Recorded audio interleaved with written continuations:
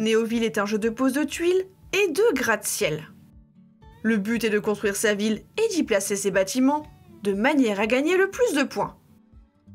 Dans Néoville, les joueurs incarnent les architectes d'une ville futuriste basée sur l'harmonie entre l'homme et la nature.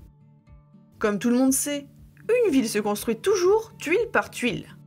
Au début de la partie, chacun possède trois tuiles en main, dont une tuile spéciale qui dépend de l'ordre du tour.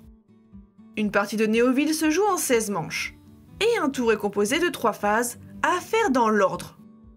Le joueur actif commence par poser l'une de ses tuiles. Il peut la tourner dans n'importe quel sens, mais il doit forcément la connecter à une tuile déjà présente par l'un de ses côtés. Un groupe de cases d'une même couleur forment un quartier. Sauf exception, il n'est possible d'avoir qu'un seul gratte-ciel par quartier. La taille maximum de la ville est de 4 tuiles sur 4.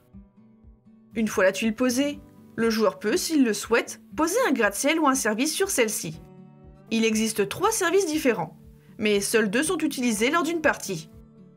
Quel que soit l'élément posé, la case ne doit pas contenir de parc ou d'installation sportive, et un gratte-ciel ne peut être placé que sur le terrain correspondant à son type. Le joueur prend ensuite une nouvelle tuile et le tour passe au joueur suivant. La particularité de Néoville, c'est que le joueur choisit lui-même ses objectifs. Le chiffre inscrit sur les gratte-ciel correspond au nombre de cases minimum que le quartier doit faire en fin de partie pour apporter des points. Il indique aussi les points gagnés, ou perdus si le quartier est plus petit. Les services fonctionnent de la même manière, mais la façon de gagner ou perdre des points dépend du service. Les écomobiles ont chacune un critère précis, et l'évaluation se fait sur la ligne et la colonne de la case où elles sont placées.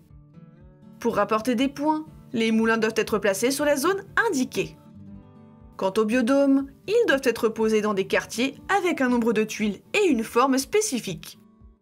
Les joueurs majoritaires sur les parcs et sur les installations sportives gagnent aussi des points en fin de partie. Pour conclure, Néoville est un jeu de pose de tuiles dans lequel le joueur fixe lui-même ses objectifs. Attention à ne pas être trop gourmand sous peine de se retrouver en négatif.